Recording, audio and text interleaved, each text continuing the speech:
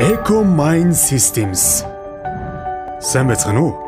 Эко төхөөрөмжийн талаарх нийтлэг асуултуудад дараах мэдээллийг хүргэж байна. Би тээврийн хэрэгсэлдээ эко төхөөрөмжийн төрлийг хэрхэн тодорхойлох вэ? Эко төхөөрөмжийг бүх төрлийн тээврийн хэрэгсэл, тоног төхөөрөмж, уул уурхайн хүнд даацын машин механизмд суйрлуулах боломжтой бөгөөд жилийн дөрвөн улиралд ашиглах боломжтой. Ямар ч төрлийн шатхуунд тохирдог универсал төхөөрөмж юм. Эко 2 нь 5 литр хүртэл мотор. Эко 4 нь 5 литрээс дээш болон 400 морь хүртэлх хүчин чадалтай мотор. Эко 5 нь 400 морины хүчин чадлаас дээш 825 морь хүртэлх мотор буюу генератор, өргөгч механизм, трактор. Эко 6 7 нь уул уурхайн хүнд даацын техник.